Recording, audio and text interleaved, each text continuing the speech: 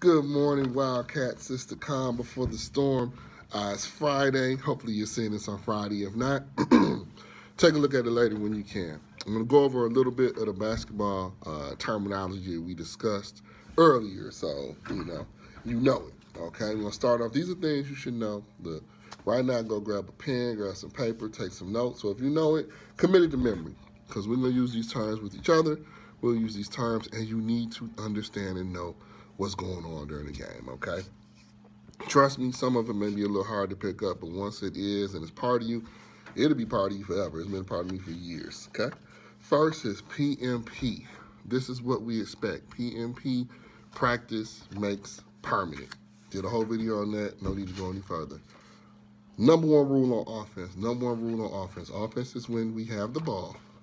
You want a PNC you want to pass and cut. You hear me saying that, pass and cut. What's that mean? You're constantly moving.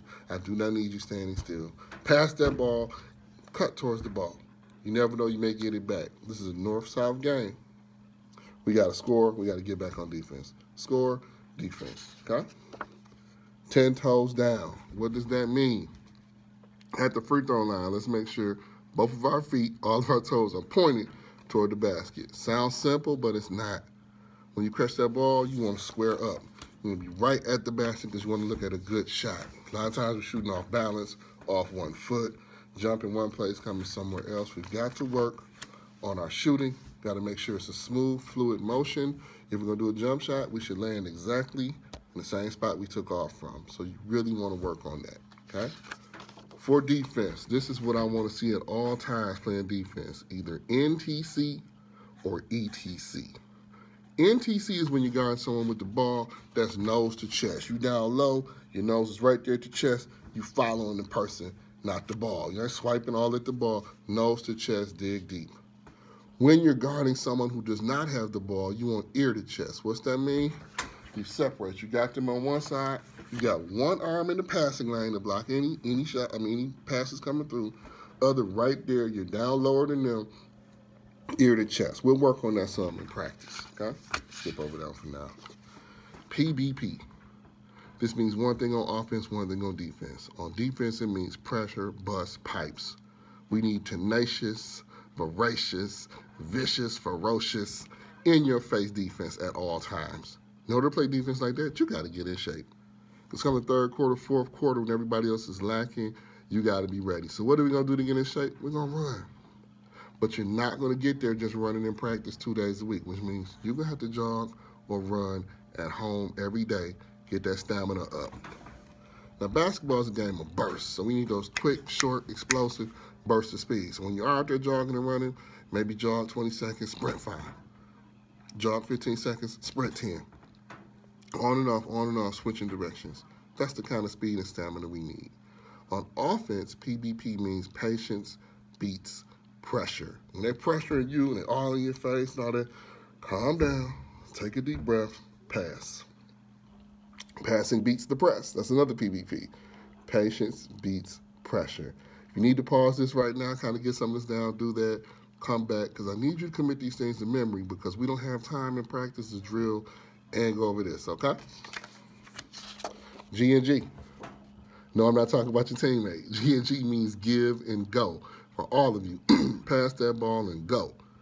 Go to the basket. I don't want to see you floating, trailing around on the outside. Christian, David, not to name no names, Maxwell.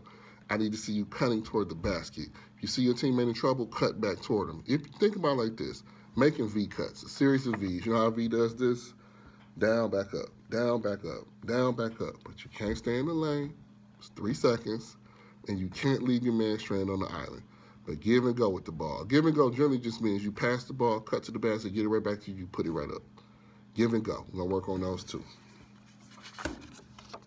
Square up. Shoulders to the basket, legs to the basket. When you catch that ball, the first thing you do is square up. Square up and attack. As you're preparing to catch the ball, already know you're going to attack. You cannot catch the ball and think about what you're going to do. You got a half second advantage on the defense, and you got to use it. I say attack the basket. Attack the basket because you can you can pass off if you're double team or you can get it up. If we want to put up those Golden State points, we got to square up first. PNR. fundamental in basketball, pick and roll. Set a screen, roll off that screen. It's got to be that two-way communication. We're going to work on that. Pick and roll. Google it, take a look at it, and understand we are going to work on it. May start off raggedy, a little rough. By the mid-season, we're going to be in fine form. The next series I'm going to talk about are all, I got a T right here for talk. Ball. Whoever has the ball, on you know whoever's covering the ball handler, call it out. Ball, ball, ball. We have got to talk to each other on the court. I'm going to be on you about talking to each other. You've got to do it. Okay. Screens. Don't let your teammate run into a screen. Don't let them run dead into a wall. Let them know when the screen is coming. So that means you people kind of in the front court playing, some of my, my post players, some of my bigger players, you see them setting the screen on the guards, guard, say something. Screen left, screen right, screen back. Let them know it's coming, okay? If they set a screen, you can't fight through it, yell switch. What'll happen is, instead of you trying to fight through the screen, you'll take the other player, you, and they'll take the man you were covering because they're right there your switch. Make it real easy. Let your teammates know, okay? Let them know. This is just a phrase all in the game. A lot of stuff that may happen to you, a lot of calls you may or may not get, a lot of times somebody may foul you. Just shake it all off. You tough. You're a wildcat. It's all in the game. Don't worry about it, okay? I don't want any of you arguing with officials. I don't want any of you paying any attention to the crowd. If there's a problem with officials, a problem with calls, that's my job. I will take care of you. Trust I have your back. Don't get into it with other players. Play your game. Play smart. Play your game, okay? Right back up. Fall down, pop right back up. I'm sorry, wrong thing. Right back up. That means you get the offensive rebound, man. Don't dribble, shoot that. Don't bend all the way down. As soon as you get it, take it up, take it up, take it up. That's why we do the drills we do. Take that ball up, okay? DDS. Disrupt they shot. Yeah, I used some improper English there, but disrupt they shot. I don't want you leaving your feet trying to block it. I don't want you reaching in, but disrupt they shot, okay? That means you run at them, you make noise in front of their face. You want them to miss that shot, but you don't want to foul. On defense, NES, no easy shots. We do not give up any easy shots. Somebody steals the ball from you, there's no time for you to sit around and smack your head and pout. No, no. Get back at it, get it, make them miss. Nine times out of ten, they're going to miss that layup you make a miss by getting down there hard. Let me hear those footsteps behind you, okay? Footsteps behind them, I'm sorry. Help, help, help.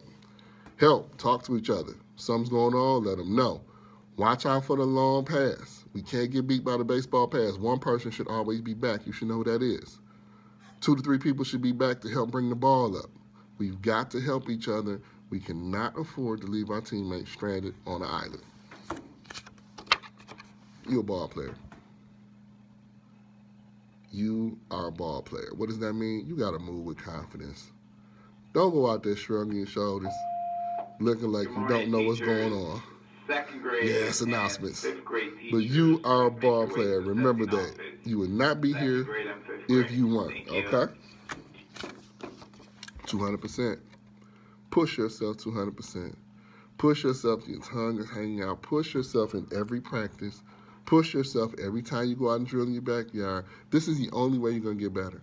You're not going to get better staying in your comfort zone. And nine times out of ten, whatever you're doing in your comfort zone is not helping your game. I need everybody to be a hog. What does that mean? Get the boards. Get all the boards.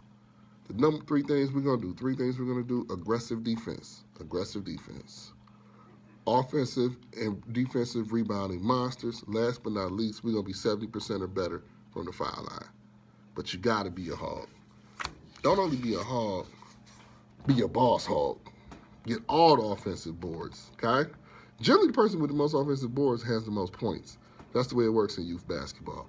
We need those offensive boards. We need to keep the defense honest. We need to put them on their heels. We don't need long rebounds coming off and they got fast breaks and all of a sudden we down 10, 15, 20 points.